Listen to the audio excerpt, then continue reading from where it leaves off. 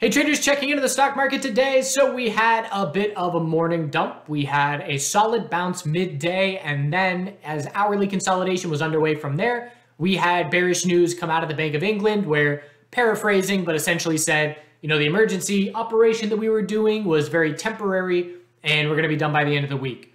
And so the market, which is currently addicted to the narrative of wanting to see the central banks turn more dovish, had its hopes and dreams dashed a bit. And you can see the volume that came in and then just the waterfall drop straight back to the low of the day.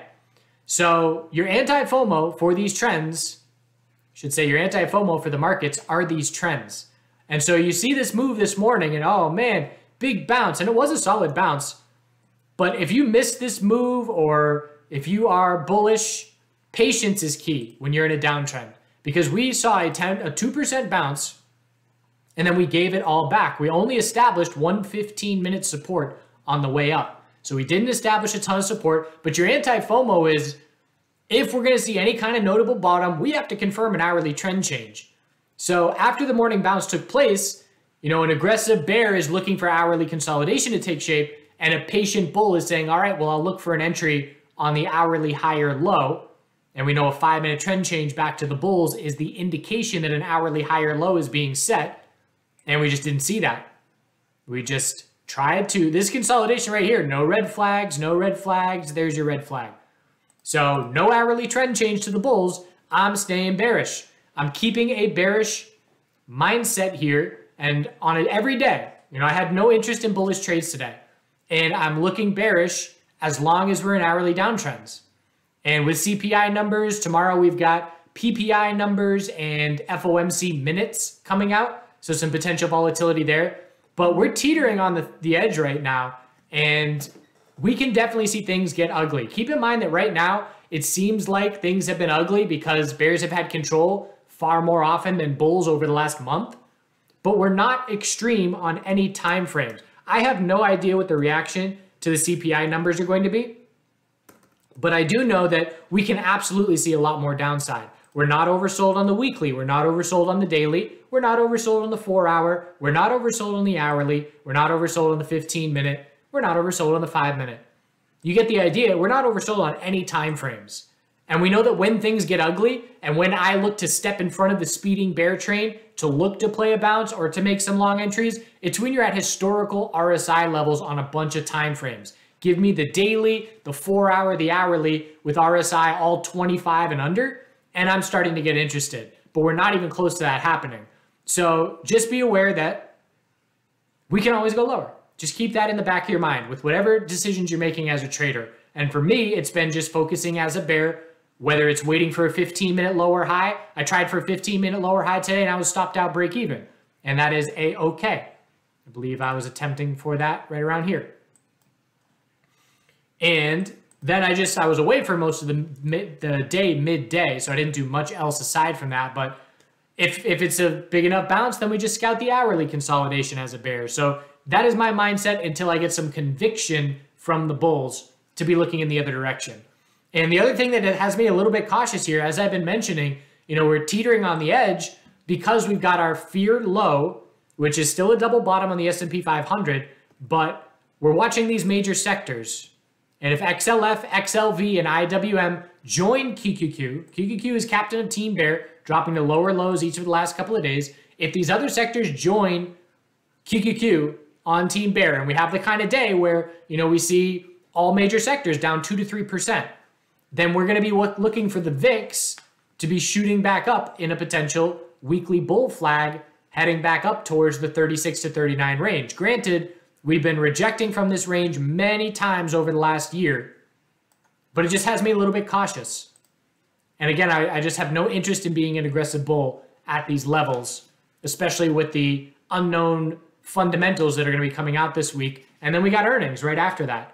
Earnings to end this week for the financial sector, and then we'll have earnings for the tech sector towards the end of the month. And that's going to be a big gamble as well. So I'm just remaining very patient and reminding myself that we can always go lower. When the bottom is set, we will change the hourly trend. We will change the daily trend. We will see follow through. We'll see bull volume. We'll see all the signals. the dollar has to lose weekly EMA 12. I cannot be a bull as long as weekly EMA 12 is support on the dollar. So that's a major factor for me as well. We started daily consolidation today on the dollar, but its news reaction led to very little bear follow through, and we're right back up at the highs of this bounce. So at this point, it's either going to be CPI that leads to the daily lower high or CPI that leads to a higher high, in my opinion. And we're just going to be waiting for that Thursday morning. Semiconductors still very weak. NVDA dropped down to the lower low. SMH, the ETF, even weaker. Look at the increasing bear volume. So we have the NASDAQ leading the S&P 500 down. We have the semiconductors leading the NASDAQ down. And that's our tier of relative weakness with semiconductors being one of the weakest sectors right now. And we look at where we stand and we're going back and saying, all right, well, we haven't been at these levels since November 2020. And that is almost two year lows. And we look at NVDA and same thing. Although actually I take that back. We're still at some levels from 2021, but still very weak. And again, you look at this chart and say, well, NVDA can bounce 10% from here and still form a daily lower high. So that's what I'm talking about about, you know, no rush, no FOMO as a bull because it's going to take a while to change these trends. When you're in a bull market, it takes so long to go from an uptrend on the monthly, weekly, daily time frame and then to shift and lose those trends. Because if you lose the daily uptrend, you just zoom out and scout a weekly high or low. You lose the weekly uptrend, you zoom out and scout a monthly high or low. And we have the exact opposite right now, where it's a long road ahead in terms of shifting this momentum. Tesla is in free fall still with a daily stair step drop the last five days, but daily RSI getting real beat up down in the mid 20s, and we're approaching a, a zone with a lot of price action. If you look at 206, 206 to 216 here, we've bounced from this level multiple times, and we're re-entering it right now in daily oversold conditions. So bulls are hopeful that some support shows up here. And again, remember, our relative weak strength changes to relative weakness at a key resistance rejection, and our relative weakness can potentially change to relative strength at a key support zone. So we look at Tesla divided by QQQ, and it fell off a cliff and has been way weaker ever since that resistance rejection. Well, now let's see, can the Tesla divided by QQQ chart give us a monthly high or low here because Tesla bulls defend that support? That remains to be seen, but it's something that aggressive bulls are watching for over the rest of the week as long as this support is coming into the picture. Still an hourly downtrend here as well, though. High of yesterday. Look at the, the wall at 227. High of today rejects by less than a dollar, and then we just roll over from a tightening range into a clear bear break. And of course, the news being a factor there, Elon Musk talking to Putin, whatever that news is, but close near the lows. So 206 to 216 support zone is now in play. Healthcare was a lead bull today. Did we change the hourly uptrend to the bulls? No. We had a nice bounce. Have to break the high of today tomorrow for an hourly uptrend to be intact. Again, the bulls are attempting to defend our base of support. But if that's just a quick lower high and then we roll over, things can get ugly. 120.70 key support. XLF is knocking on the door. 30.12 fear lows, must hold that level. Otherwise, we're going to have our stronger sectors joining our weaker sector. IWM. Testing the low today. Bulls playing defense and standing out a bit stronger. All about 163.28. Biotech sector benefiting from IWM and XLV strength, related sectors there, but never confirmed the hourly uptrend. Gave it all back. Nice double bottom at the end of the day there, but have to break the high today tomorrow for an hourly uptrend. So change the hourly trends and we'll have a short-term shift. But if we cannot change the hourly trends, the bears stay very confident. As I mentioned, the VIX is up testing its recent high, trying to confirm a weekly bull flag. It's not going to see a big breakout day unless we see all major sectors breaking their recent fear lows. That's the kind of environment, if that happens, where we can see these kinds of days where things accelerate to the downside altogether. But if we're seeing a day like today, where healthcare is up at the high of the day and up half a percent, I forget where it closed, but it was at one point up half a percent, while QQQ is weak, that's the kind of environment where the VIX doesn't break out. It needs all major sectors at the lows at the same time to see these big green days. Cannabis is getting absolutely trashed. So one day pop on news, really a one hour pop on news, and giving the majority of that back and just getting trashed in this market environment where, you know, bears say, okay, good, you got a good news headline, but that's not going to change anything over the next week or two. Maybe it changes something over the next bunch of months, but they jumped all over it.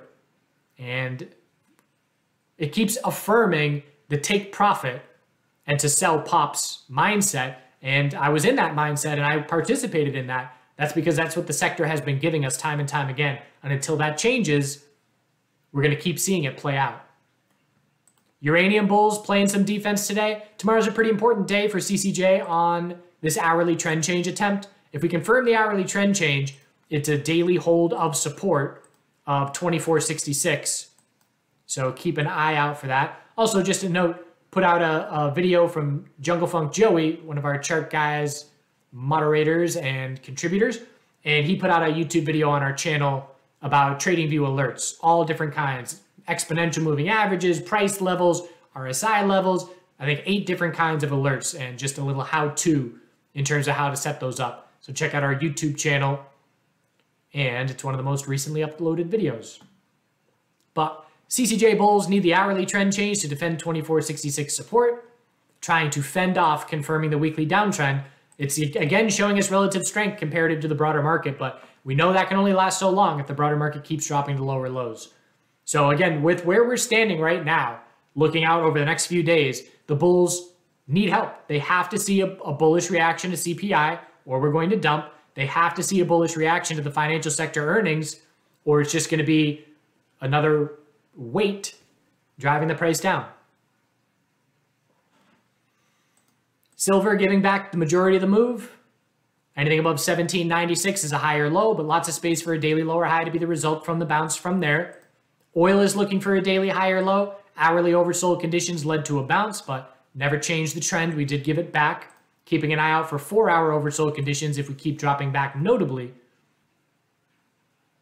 Inventory report is tomorrow. Natural gas had the daily support level hold, at least initially. Have to break 710 if it's going to be meaningful. And other than that, it's just bear confidence. Bears have to get punched in the mouth. And the Bulls are not doing that. And so the Bulls need help from fundamental news, data, data. And that's really what the hopes boil down to at this point in the short term. Let the hourly and daily downtrend be your guide. Let them be your bias. What is my bias today? Let's check the trends. What's the weekly? What's the daily? What's the hourly doing? Are we at historical bounce levels on RSI on multiple time frames? No? Okay, then all I care about is the trend. Do good things. Thanks for watching.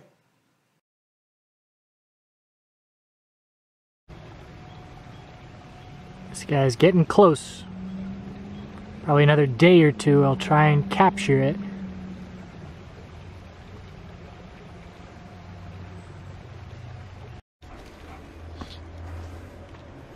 Are you being a wacko face?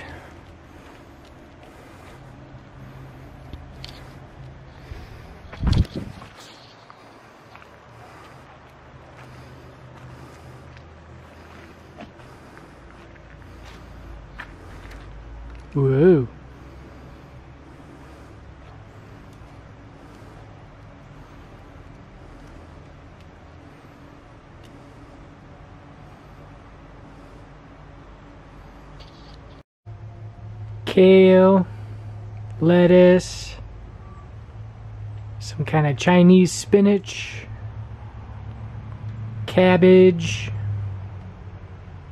radish, onions.